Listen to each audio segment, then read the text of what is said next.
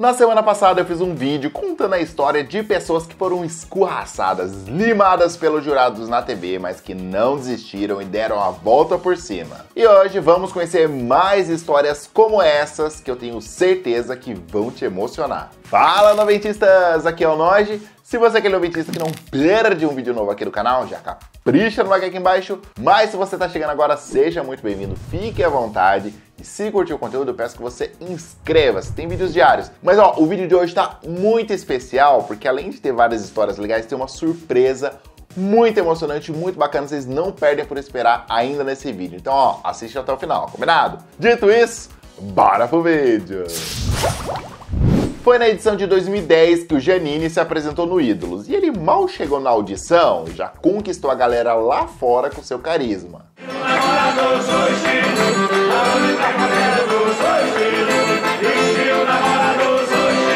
Já dentro do auditório, cantou um clássico de Gilberto Gil. Por isso eu vou na casa dela, ai, falar do meu amor pra ela eu vou.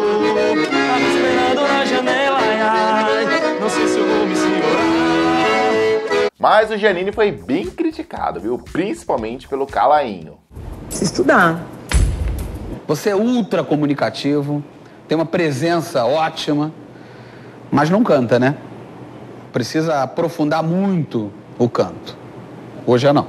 Apesar disso, ele passou para a segunda fase do programa, mas foi eliminado na sua primeira apresentação no teatro. Você acha que a falta do instrumento te prejudicou? Muito, porque hoje é, a- o meu artista é similar ao acordeão, né? Porque eu toco, eu canto com a sanfona, a sanfona me auxilia. É, é 50%, 50% hoje. Infelizmente, é isso. E se fosse talvez com a sanfona teria sido até melhor, mas tudo bem. Janine saiu de lá arrasado, mas tanta frustração serviu como combustível para ele. Seguiu na carreira da música, compondo, fazendo shows e conquistando plateias cada vez maiores. Depois de passar por várias bandas, decidiu seguir carreira solo e hoje lota os shows por onde passa. E sabe aquela música que ele compôs e ficou brincando lá na fila do Ídolos? Virou sucesso no Brasil e até no exterior em parceria com Wesley Safadão. Como é que chama a música? Estilo namorador. Ídolos do forró. Som na caixa. Vai, Janine. Quero ver. Sou estilo, estilo namorador, sou estilo. Vou dançar com ela. Estilo namorado, eu sou estilo. Multi-instrumentista e compositor Janine Alencar é hoje um dos maiores nomes do forró no Brasil, com discos e DVDs lançados, videoclipes de sucesso e uma legião de fãs. O anjo encontrou amor e é tudo superou.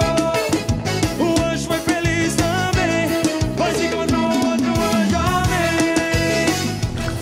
Vinda de Uberlândia, Minas Gerais, a Thaís Barja chegou cantando Boa Noite do Djavan. Seu ar de dominado dizia que eu ia ser seu dono e nessa eu dancei. Hoje no universo, nada que brilha cega mais que seu nome. Mas apesar de ter cantado bem, a Thaís Barja não passou na competição. Eu acho a sua interpretação bastante introspectiva. Eu acho que para ser um ídolo tem que atingir a massa. E eu não vi nada para atingir a massa aí. Para mim é não. Mas a Thaís nem pensou em desistir, seguiu firme na carreira musical e hoje, com 15 anos de carreira, é compositora, apresentadora, DJ, além de cantora profissional.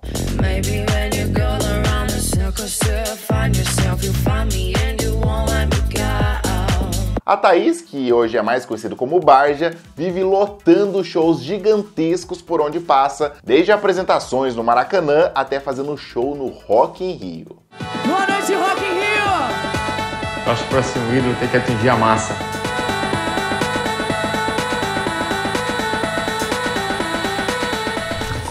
Saindo um pouquinho do Ídolos, mas não dos talent shows, chegamos no programa Qual é o Seu Talento do SBT, que nesse dia recebeu o Hugo Henrique, que na época tinha 6 aninhos de idade. Qual é o seu talento? Meu talento é cantar. O que, que você gosta de cantar? Sertanejo. Você é fã de alguém? Do Luan Santana. Yeah! Então o Hugo foi lá com todo o seu carisma e cantou justamente Luan Santana.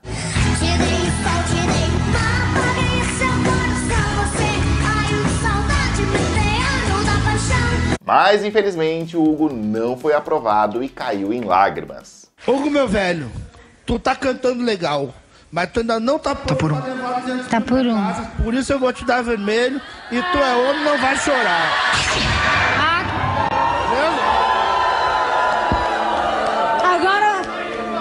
ligue não, ligue não, pense aqui não. Vamos sair daqui muito aplaudir, vamos aplaudir gente.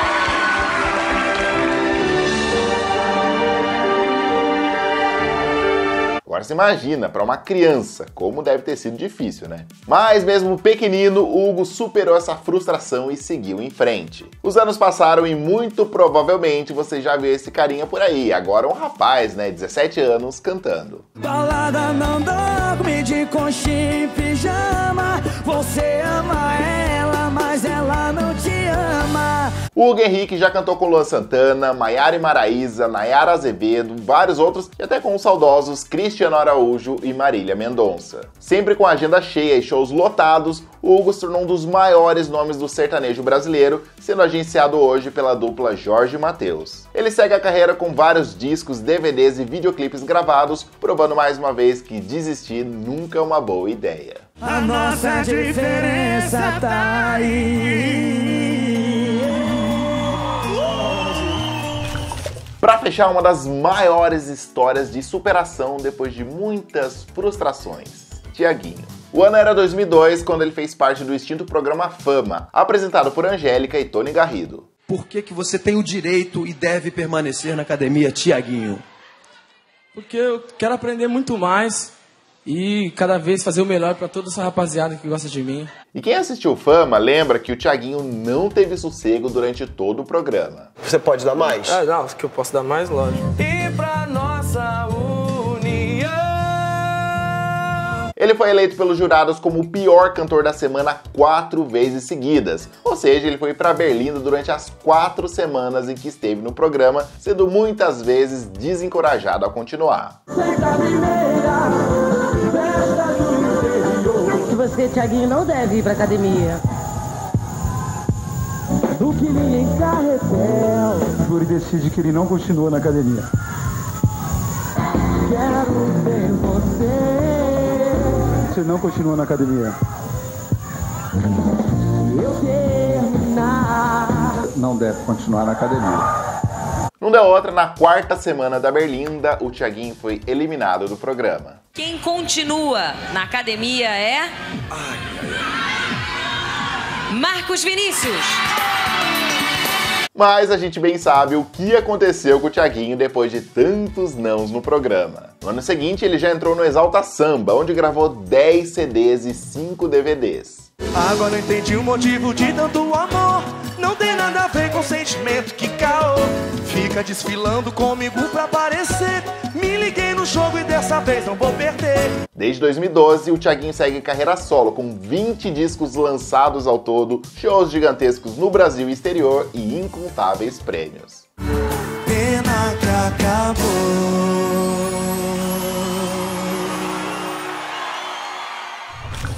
Mas agora, conforme prometido, uma surpresa muito legal pra vocês. e Pra mim também, eu confesso que fiquei muito feliz com isso que vocês vão ver agora. Você lembra do Ítalo Karamoru, que apareceu no primeiro vídeo dessa série? Não gostei nada. Pois é, ele assistiu esse vídeo e tem um recado muito especial pra vocês. Fala galera do canal 90, meu nome é Ítalo Caramuru e eu apareci no primeiro vídeo dessa série. Tô até agora sem acreditar direito no que tá acontecendo, é como se eu tivesse entrado numa máquina do tempo e voltado para 2009. Por muitos anos ver esses vídeos foi sempre algo muito pesado, muito difícil para mim e até hoje.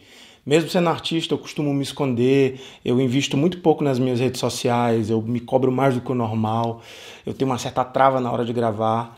Mas está mudando agora. Sou fã do Canal 90 e eu simplesmente entrei em estado de choque quando eu vi meu nome, eu vi a minha história sendo contada ali, com tanto carinho, responsabilidade, sabe? Uma, uma riqueza de detalhes incrível.